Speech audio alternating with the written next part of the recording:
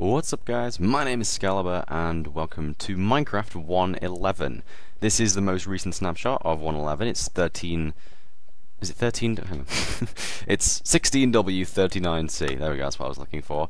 Uh, and if you're wondering here why our little base looks so dull, it's because basically I have no Optifine. Um, I'm actually going to have to get used to playing Minecraft without Optifine for a few weeks here, whilst things get updated. Oh, the sky looks rubbish. it looks so boring. Whatever, we'll have to just live with it for a while. And also the world actually looks, like, normal as well. Like, there's no super darkness. I bet the nether looks normal as well. We'll have to check that out at some point today. Playing without Optifine is actually quite interesting because it's, it's such a big difference now because I've made so many changes that are reliant on it. But uh, yeah, what can you do, I guess. So here we are in Minecraft 1.11. There are a few changes that have been made to the game and I do want to show you guys them at some point today. We're going to use a few of them as well. But before we do all that, I want to go into a snapshot test world and we can test out a few of these features because as good as these features are, I will admit, we are still kind of a baby in Minecraft right now. This, as you can tell by our base and everything in it, we're still spelunking. Like we're not to a point now where we can start building big mansions and creating big redstone things. We're just, we're just not there yet. So I can't really show you many of the features today in my world, legit as you usually would see by most LPers. But what we can do is we can go into a test world. So this picture just about sums up uh, 111. As you can see here, we have the llamas. They sound hilarious. And look at the baby llama. it's so, so derpy. Its neck is bigger than its body. It's, it's just amazing. I love it. The baby llamas look adorable but in like a really weird way. I can't zoom. I tried to zoom in then, but again, not Optifine, so what can you do? Uh, yeah, you can see, the way that mob heads work is that when a mob is a baby, its head is always exactly the same size. I'll demonstrate here with something more relatable that we recognise. So a cow, got here, you'll see that the cow shares the exact same head as the adult cow, but obviously the body is a lot smaller. And it's supposed to make uh, baby animals look adorable. But with the llama, its head is its entire neck. Look, there's no separation here. That's its head. So the head's the same size, but the body's tiny, and it just looks so derpy. I love it. It's amazing. So we'll get a few more of these guys because llamas are amazing. Uh, and here we have a caravan going, so I'm actually going to take advantage of this. We're going to get ourselves a lead because this feature is so funny. If I get one llama on a lead here, all the llamas are going to form a caravan just like that, and it looks so good. Look at this it looks hilarious. It's a bit weird. It doesn't work as you'd expect. Like they you see, if I turn too hard, they start to walk. You know, yeah. See that? They start to walk in a weird direction. But what I found out of this entire llama trail, this llama with the um, carpet on right here, I was going to say saddle limb, but yeah, it's a carpet, isn't it? This llama with the carpet on is the, actually the only llama that's tamed out of the entire caravan. So, weirdly enough, untamed llamas form a caravan, which personally I think is a bug. Like that might be an intended feature, but that doesn't seem doesn't seem right to me. Do you really want to be in a wilderness and you try and take your llamas back home and you end up bringing home about 50 strays that aren't even yours? I mean, maybe that's a good thing if you want to transport llamas around to be bred later on, but this is it seems pretty weird. It's like I don't know, it's weird behaviour, but I quite like it. I also think the baby llama shouldn't caravan. I just think they should try and stick to an adult, like baby animals usually do. You can see the baby cows over there. It's trying to stick to its mother, regardless of what happens. Mm. If I push the cow away, baby's going to follow regardless. I think the llamas in the caravan as babies works because they're still following adults, but they're using the exact same behaviour of following a caravan. I don't know. I, th- I, I, think there's a lot of changes that need to be made here, but it's a great concept. I love the idea, um, and also this is a thing. If you put the lead onto a fence, they just remain in a caravan forever, and it looks really weird because they all just kind of break. as you can see here. But it's funny and it's good and I like it, so there we go. Next we have the shulker box and we have a bunch of carpets in here to test as well. Uh, I went through all the carpets, all 16 of them, and tested out the ones which I think were funniest. So we have here not funniest, sorry, best looking. So we have the Cyan one, which is probably my favourite one, because it looks really good. It has all this markings down the side, and it has like chains around his neck, and this nice coloured saddle, and it has like the frills at the bottom. It looks good. And then we have a few more wacky ones. Uh, the yellow one is the same, pretty much, but just got like a gold colour. This one looks awesome, like if you want to have a posh llama. Then we have purple. This one is sick. It has ender eyes on it, and it contrasts the white so well. So if you have a white llama, purple carpets are awesome. Uh, green, we have like a creeper face. It's a bit ugly in a in a way in a sense. I don't really like the fact that it's just all flat colour with a sticky out creeper face, but it's quite nice, and I imagine there'll be a lot of kids that like this because creepers and that. So, so there we go. Um, and also we have uh, black, which looks pretty good as well. This one's just kind of like a default one. Um, it has a bit of purple in there as well, which I quite like. Purple is a nice colour in my opinion. Um, and yeah, you can see it's kind of like just a very plain one. So if you want plain and professionalism, black looks good. Then you have grey, and grey just looks amazing because he gets shades. How good is that? the grey one is easily the funniest. Like I just lo I love Mojang for doing that. Like you're putting a saddle on a llama and you get 16 different options. Just make one of them have shades because why the hell not? it looks brilliant, so there you go. Grey is probably the funniest one. Cyan is my favourite one. Over here we have some more items from the update. We have the Totem of Undying, which I'm going to demonstrate in just a second. Uh, and then we have, of course, the Shulker boxes again here, which come in all different kinds of colours. As you can see here, we've got ranging from white to black with all the different colours in between. The default um, shulker box that you get when you craft these things from two shulker shells, which can be found here, shulker shells like that. You craft two of those with a chest, one either side of the chest, and you get yourself a shulker box. It becomes the purple shulker box by default, and then you can re-dye it by putting dyes onto it and stuff in the future, so there you go. And then of course we have the observer block, probably the biggest change to this, um, like, you know, update there is. So if I put a redstone, piece of redstone in front of the observer, every time it gets a, a block update, it does it pulses for one tick. Now that is very helpful for a number of reasons. Like there are literally so many possibilities. It's quite easy to say that this is not a bold statement at all. The redstone world has literally changed like every aspect because of this one block. This block changes everything. sounds really cliched and derpy, but um, seriously, this block has literally changed redstone. And I'll show you some demonstrations right now. For example, we have this. This is a redstone elevator. It's so fast. It's 30 blocks a second. 30 blocks a second. And look how simple it is. If you wanted to get 30 blocks a second previously, you had to do some weird redstone, and now you just need a bunch of quartz and some cobblestone and some redstone, and you're done. This thing is so cheap, but it's so good. It can be a little unreliable. I have had it break a few times, and I have no idea if this works on SMP or not. Probably not, to be honest, considering SMP does give you a bit of lag. But again, if you have a bad computer, this might not be the thing for you. But it is pretty consistent, if I'm honest. It does work pretty well. So, next up we have the Totem of Undying, so I can go to Game Mode Survival. Jump off the top of here, and die. But also not die, because that thing is really cool. Uh, I'm going to give myself some cooked pork chop. Pork chop, there we go. um, so yeah, that's that thing's pretty cool. It gives you regeneration 2 for a long time. In fact, it gives you regeneration 2 for a hell of a lot longer than a potion. Like, the potion regeneration 2... In fact, hang on, game mode, creative. The potion regeneration 2 gives you it for 22 seconds. Regeneration 2 from the totem gives you about a minute's worth, so actually the totem works as a really good um, way of replacing the regen potions, that's good. Next up we have a game rule called Do Weather Cycle. This has been needed in the game for a long time. If you turn this to false, it just simply means that the weather will not work. It's as simple as that. The weather just doesn't like act. It's, it's brilliant. Uh, and then we have mob cramming, which is an interesting one. You see if I get a bunch of mobs in here, like this, they're absolutely fine, yeah? Because the original max entity cramming count is 24. Note that in older versions of Minecraft, you could have about 140 to 170 entities, depending on your world uh, limits and stuff, in a single spot, and the game would have no problems at all. Now, if you have any more than 24, which I'm going to try and hit here, it will start to kill off mobs. If so, I put 25 in. I'm not even. I wasn't counting. Yeah. I wasn't counting, but that guy was the 25th. So right now there is currently 24 entities there. You can see it from the entity count. Actually, the entity count's a bit messed up, but that, that's besides the point. If I put that in there, you see it's gonna it's gonna slowly kill creepers. Every time I add one in, it's gonna kill another. As you can see there. Now, some people think this has ruined mob farms, and in a way, I kind of agree, but at the same time, this has also revolutionized mob farms because this means that if you put a number of mobs in a single space, such as up to 24 using the default game rules, then they'll start to kill themselves after a while, and you'll just be getting free drops. No looting effect, no XP, but you're getting free drops nonetheless. Now, this can be changed to, for example, 8. It's going to do this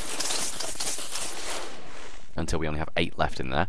Uh, and of course, this, this number can be changed a lot. Yeah, you see, I also count as an entity if I go in there as well, so I'm going to put a few more creepers in there like that. There's now eight. If I stand in there as well, you'll see that one dies, just like that.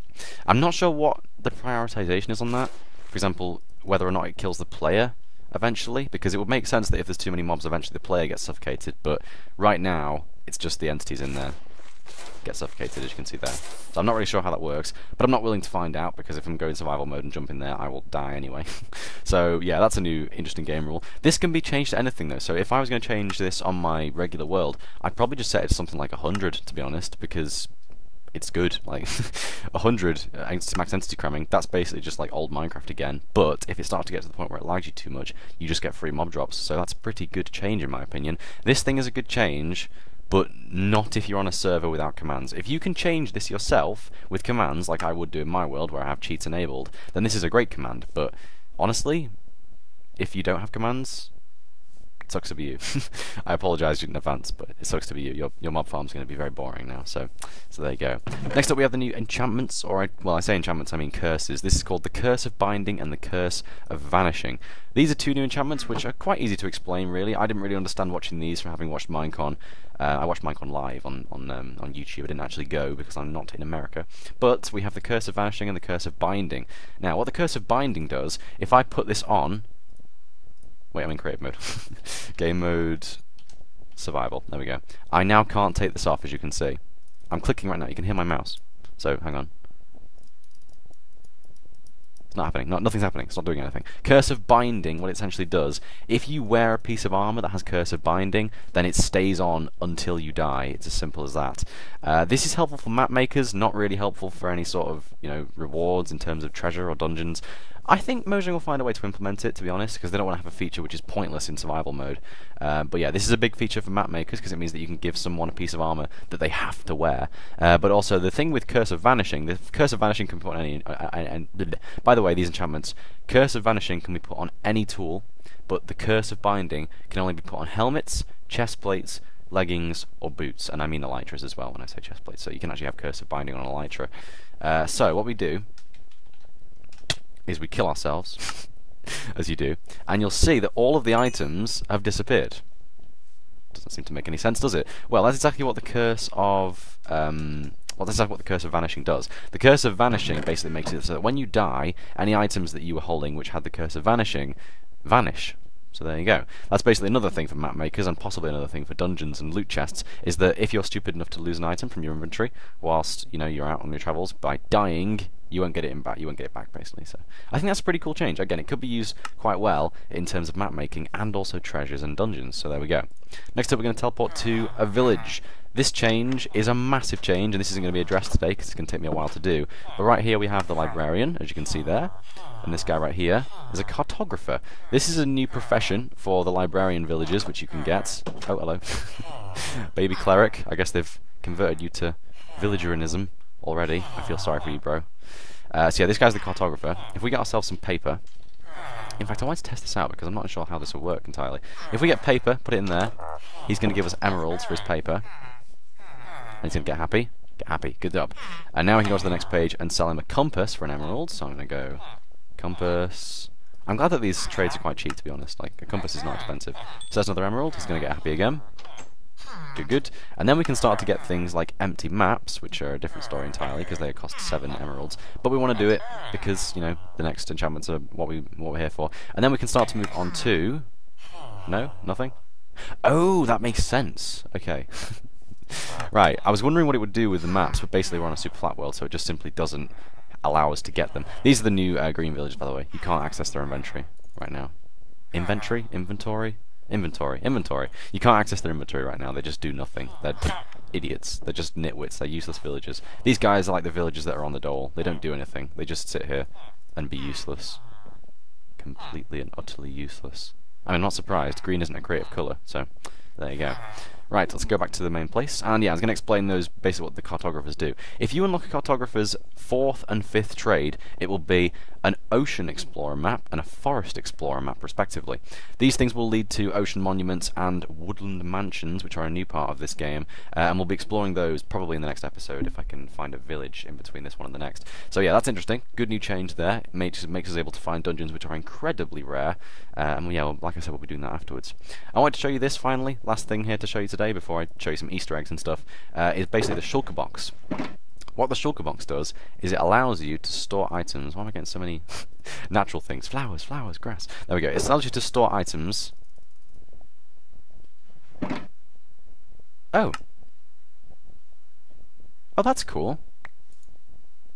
Oh, I did not know that, but apparently hoppers interact with um with shulker boxes. Huh. Okay, well that's interesting. Uh, that can be got around. You can yeah, okay, well, my point still stands. Imagine there's items in this, okay? Break it, goes into there, goes into the dispenser, and... Ta-da! And it would still have the items in. If you guys didn't know, the idea of the shulker box is that it just retains its items. So if I go into game mode survival and give myself a diamond... No, give Skaliber a diamond pickaxe, I can mine this thing, like that, and it's going to retain its items. Cyan carpet, yellow carpet, purple carpet, green carpet, black carpet, and this basically allows for super bulk storage. If I give myself a chest, I want to test this actually. If I put a chest down, can I put these inside a chest? You can! Damn! okay, that's nice. Right. That introduces a lot of possibilities. Basically, this right here is a chest and you can store any items in it, but you can also break it with a pick and it will keep those items. I can then put that in a chest. So this chest now effectively has its storage times its storage, which if I just get the calculator up, it's 27 times 27 times 64. This chest can now store 46,656 items in a single chest. I'll allow you to just appreciate how incredible that is. now these things are really powerful, as you can probably tell by the numbers I've just read out, but they're also really hard to find, they're also really rare. So if I go back into game mode C, basically every time you kill a shulker, I'll show you right now, shulker, there's the shulker, get myself a diamond sword, like that. Every time we kill a shulker, it's going to have a 50% chance of dropping a shulker box. I'm just going to... He wasn't opening, so there we go. Yeah, 50% of the time he will drop shulker box. Which, as you guys will know, I like to change textures and stuff. If this texture doesn't get changed when the version when what there we go. If this texture doesn't get changed when 1.11 gets fully released, I am redoing this because, not gonna lie, that is one of the worst textures I have ever seen in this game. Literally nothing about it looks nice, but uh, there you go. And yeah, like I said before, you craft two of those together with a chest to get yourself a shulker box, so there we go. Finally, I wanted to show you two new things about the Vindicator and the Evoker. These guys are the new Illagers, as they're called. You can see here. They're basically evil villagers. I think these are a reference to um, vampires, if I'm completely honest, because they have grey skin and they stay in a house all day in the middle of the woods. they're vampires. I think that's a really cool way of putting it. Uh, but basically, these guys are really cool. They're like new mobs that you can fight. I'm going to give myself a shield and a sword, and I don't really want to show too much off with these guys, um, because we will be fighting them next episode especially, but basically if I go into game mode survival, we can fight these guys, and they are quite powerful. There we go. And they drop diamonds and occasionally their axe as well, which is pretty cool. Uh, this guy, though, the, that guy was the Vindicator that we just killed. This guy is the Evoker, and he's much more powerful. As you'll see in just a second. Oh my god. I love this guy. He's literally the coolest thing. He brings those spikes up out of the ground um, and uses them to, like, basically kill you. And these things are so annoying. I mean, they're, they're named after being annoying, but it doesn't change how annoying they are. they're called Vexes, named after the fact that they, they're very vexing. And as you can see here, I'm actually going to let them kill me so I can get the Totem of Undying to work again. So, come at me, bros. Come at me, bro. They're not doing anything. There we go. How cool is that? I love the sound effects in this pack. A lot of the sounds in Minecraft, especially in the 1.9 sound changes part, because as some people know, the 1.9 had a lot of sound changes. This one, I actually love the sounds of this pack. Like, the water sound changes, and even the weather sound changes. I didn't really like any of them, but the sounds in this one are just amazing. Like, the Evoker and the Vex sounds, and the Totem of Undying sound, even the Llama sounds. I just love all the sounds in this pack. The sounds are much better. I'm saying pack too much. I've been playing too much modded recently. I really have. Anyway, that's going to do it for today. Um, I hope you enjoyed the 111 changes. We'll be actually exploring some of these in the world next episode if I can find myself a decent cartographer. Um, but yeah, apart from that, that's all from me. Thank you very much for watching. I hope you enjoyed the 111 changes, uh, and look forward to going through some more of them in the actual survival world with you guys next time. And hopefully, by the time we come around to doing that, uh, 111 may have been released fully, and then of course we're going to be on the way to getting Optifine for 111, and then I can have my beautiful sky back and the beautiful Starfield. So yeah. Anyway, thanks for watching. Just wanted to make a quick update video on all the changes made to this, and I will see you in the next one. Thanks for watching. Take care. Bye bye.